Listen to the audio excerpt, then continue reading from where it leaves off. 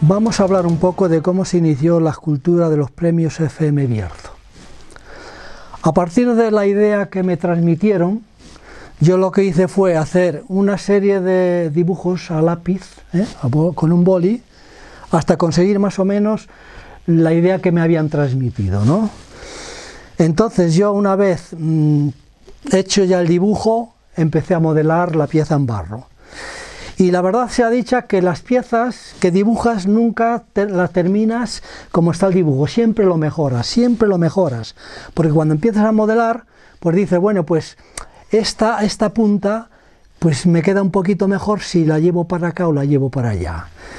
Esta ventana que es una vidriera, pues en vez de hacerla así, pues la voy a hacer de esta otra forma porque enriquece un poquito más la obra. Es decir, que siempre se mejora mucho lo que es la, obra del dibujo a la terminación de la maqueta.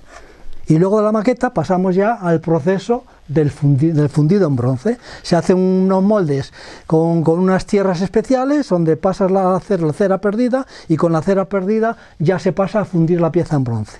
Una vez hecha la pieza en bronce, viene otra vez el proceso, que es el proceso de pulido, de remate y luego la terminación pues son las pátinas al fuego, que son con unos ácidos y con los colores que se quieran. En este caso los tonos son unos tonos a la oliva, un tono verdoso a la oliva y así se ha terminado la obra. Bueno, aquí como veis tenemos la obra terminada, F.M. Bierzo, la obra que me han encargado para dar unos premios.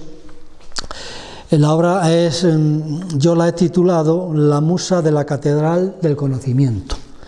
Entonces, esta obra está realizada en bronce y he tratado de conseguir, pues eso, la catedral que une a toda la sabiduría. ¿eh?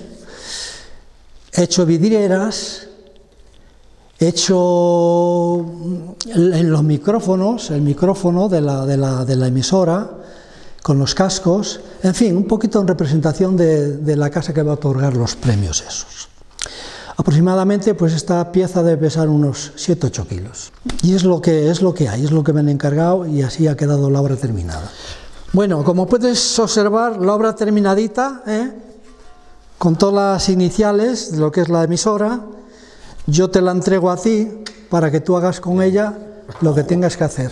Pues eh, gracias al trabajo de Arturo Noguera recogemos este premio con mucho, con mucho cariño y, dedicado en nombre de él y nuestro a todos los premiados que van a pasar por, por esta gala en la primera entrega de los premios FM Bierzo. Es este gran premio para todos vosotros, en nombre de todos.